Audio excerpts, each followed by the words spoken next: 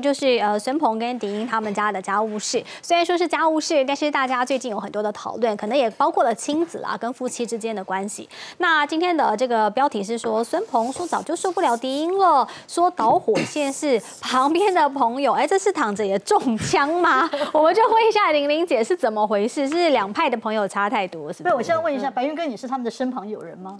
哎，算算导火线，导火线就在这里啦。嫌疑很大，嫌疑很大，真的，我他们两个都熟。我。我我我两派都有呢，因为呢，我我我跟鹏哥呢，以前这种帮帮忙的时候嘛嗯，那大家也熟，他跟妥中康我们都也熟，但是我跟狄英姐这边又是他好像跟彩华又又以前我没有一个其他的节目也熟，对。那所以说我是站在中间的，我都没有什么讲话的余地了，所以达云哥不是导火线，大家不是误我不是会。那个我何德何能啊我。好了，白云哥不是啊，但是有人是怎么说呢？因为孙鹏跟迪英他们结婚不结结，后来要离婚的第一次离婚原因啊，不是第一次哦，是现那一次离婚的对那一次。原因呢，是因为呢，迪英呢，大家知道他从小在歌仔戏班出身，所以他跟歌仔戏那些人呢非常非常好。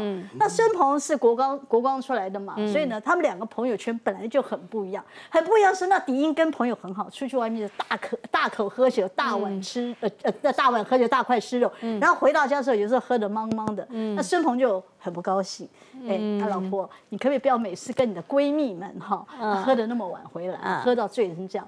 那然后呢，这个孙鹏这边呢，很多人讲说他们两个因为朋友关系不和，错，我要这边帮英姐哈啊阿 T 啊讲一句实啊，因为阿 T 有讲说迪英啦，就讲说没有。孙鹏那边国光朋友那帮我都跟他们好的不得了，只有孙鹏哎跟我的歌仔戏这边姐妹她不好，所以换句话说，迪英是很认真的在在经营这一块，但是因为这个两方哈真的个性不一样，因为嗯。迪英呢大姐大。孙鹏呢，大哥大，孙鹏大男人主义，迪英大女人主义，所以两个常常为了这事情争来争去，吵来吵去的，久而久之，大家就觉得说个性不合算了。但是其实我跟白云哥都有去过他们家，他们家对他们家对小孩真的很好。那时候我记得到他们家那个画面，迪英就抱着那个孙安祖，那时候还是婴呀还是婴儿的时候，抱着他就很开心那个样子。可是。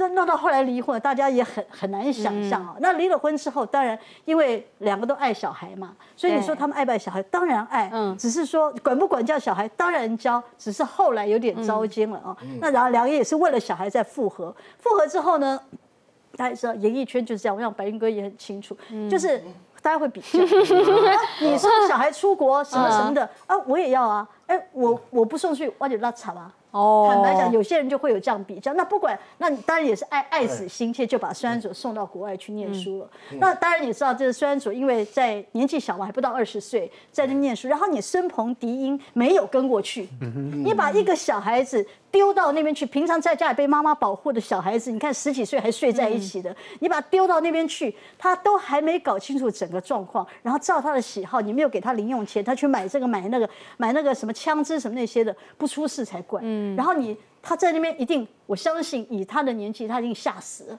然后孙鹏迪英赶快去救治，然后孙这个这个孙安佐再关到美国的监狱里面去。大家要想想看哦，二十岁不到，对碰到这么多事情，你不要讲小孩子，连大人很多都受不了。对那然后你这个孙总好不容易千弄万弄，终于把他弄回台湾之后，没有第一时间去照顾他的心理状态，马上就你赶快去念书。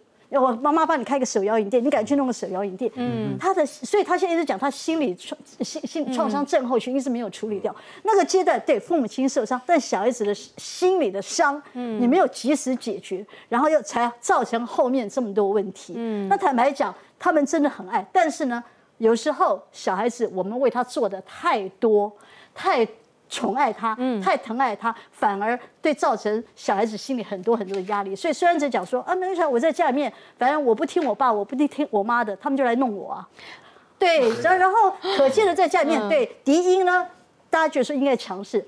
虽然讲说大家都讲错了，他说其实我妈在家里哦是弱势的，因为我爸呢虽然看起来斯斯文，但他家里面他都是叫我妈做这个做那个的。那其实家里面是哎这个可见孙鹏是用这个军事化的管理，因为他们在在学校里面做军事。那敌英呢就是妈妈嘛哦，呃这个所以呢才会造成这种呃教育上这样子的落差，还有这种观念不一样，才会造成孙安佐就觉得说啊。我在家里面，我知道他们爱我爱的让我觉得好恶心。不过感觉虽然我跟妈妈感情还是很好啦，对不对？那因为白云哥跟他们都是朋友，对那私底下的迪英姐真的也是这么的强势嘛？因为大家都说，哎呀，一定是迪英太强势，你讲？狄英姐强势，我不认同，但是你讲她这种那种义气，哦，义他气气大然后他就是大姐大姐大，性，然后她就是一个女儿，呃呃，外表是女生，但是她个性是男生。哦。然后你像以前，以我我还记得，你你想想看嘛，他还蛮年轻的时候就出出来，呃，家里赚钱，然后帮帮助家里。嗯。然后后来他接触的是歌仔戏这个，哎，歌仔戏这个你想想看到他们，如果你像就我我所知，这个像雅兰姐、陈雅兰他们，他们以前小时候是出去野台这样有没有？嗯。他必须到哪一个地点，哎。这里都有那边的地痞流氓，有一些地方的士绅，不管怎么样，哎、哦。你你是要面对很多事情的，所以你必须要把自己强悍起来。嗯，你没有办法强悍，你怎么怎么去跟这些人打交道或怎么样？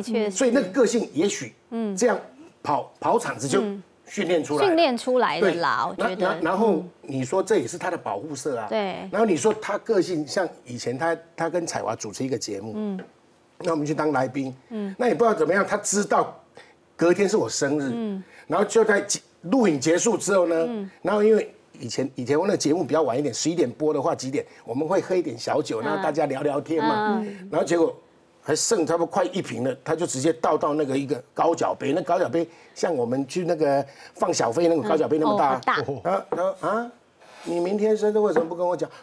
我说婷姐你怎么会知道呢？怎么样？我不能知道吗？我可以可以可以可以来，不啰嗦，把这一杯喝掉。好像是当晚还是我们隔天，就连工作人员他就在一个餐厅办了两桌。哇！就请大家一起吃火锅，干嘛就很开心了。对那旁边的你可以蹭饭吃，工作人员有饭吃，看看，哈哈哈哈哈对，就是你这种态度啦。我就把那一杯，就把它咚咚咚就喝完，喝完就嗯，那姐姐可以了吗？嗯，可以。好，那么啊，明天我们就约几点，我们就大家全部都去吃。嗯，他就是那种阿萨利的阿萨个对啦，性。阿萨里是，而且其实我觉得是不是蛮照顾后辈的？他很照顾后辈。老实讲，你说他强势，因为有时候在媒体，嗯不要不要说什么，我们现在这个时代有很多酸民讲什么。哎我家的事干你什么事嘛？对不对？对啦我教的孩子好不好，也是我要承担的嘛。但是因为我们是艺人，你就会被放大。嗯对，其实有很多一般的小孩或一般的、一般的百姓也有很多这种状况。对只是没有被放大嘛。那白云哥，你赞成就是很多夫妻为了小孩，好，其实你已经不和，吵到不行了，嗯怎么样还是不离婚？那你觉得到底不离婚，为了孩子，你觉得要不要离婚？我觉得要离。没有错，跟我我们两个感感受是一样的。我们这都对对对对，一定要离，真的要离。为什么你知道吗？我曾经碰过我自己的朋友，嗯，就是为了这小啊，那时候小孩子还小，然后比如说六七岁而已，他不离婚，其实两个在家里的那种夫妻是越吵越大，你知道吗？那对受不了是谁？是这个小朋友。嗯，你们为什么每天在那边吵吵吵？哎，他老实讲，他心里是不 OK 的。嗯，像我以前小时候，我我我在离婚的时候，我儿子那时候才六七岁。嗯，然后我跟他讲一句话，这是到现在我儿子还记住的。你要记住，爸爸跟妈妈不和，但是我跟妈妈分开之后呢，你会得到两份爱，一个是爸爸的爱，一个是妈妈的爱。如果妈妈跟爸爸在一起的话，你连一份爱都没有得到。因为我们两个每天在不吵架就好了。会吵。架。不吵架就好。对呀、那，你你你，如果你我儿子我们住在一起，你不疯掉？嗯，对呀、的确蛮多这种类真的真的，就就就就如果夫妻真的合得来就来，合不来，赶快测一测，对不对？是不是？林姐是不是这样？啊这个是这个是我们现在这 这个时代。不不 不是了，你那你要不要来当公证人？不是不是不是，哎呦，那折寿啊，不行啊！其实我觉得得现在的人，大家比较会去思考啦。可能以前老一辈的就比较就觉得啊，不行啦，那个离婚不好，怎样怎样。但是我觉得还是以个人还有你小孩的身心状况对为主，可能才是最重要的事情哈，是对不对？